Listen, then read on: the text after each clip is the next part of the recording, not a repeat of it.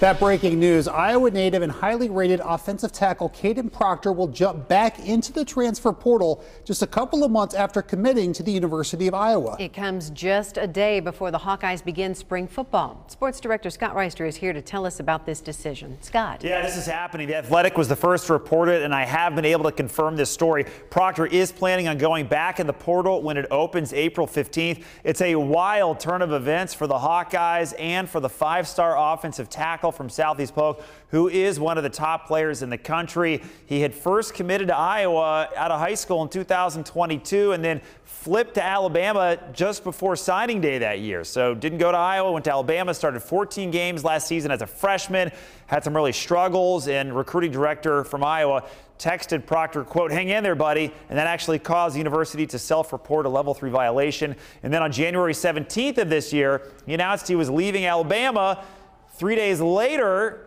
his commitment to Iowa.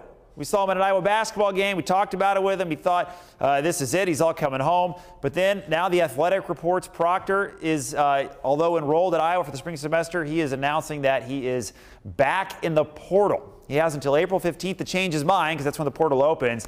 He would be eligible to play right now for either Iowa or Alabama. This is a major blow for the Hawkeyes on the football field. I've reached out to Kadyn trying to get in touch with him. We'll see if we get back in with him. And Proctor, by the way, has posted pictures of him and his Alabama teammates on his social media. So you can read between the lines there, guys.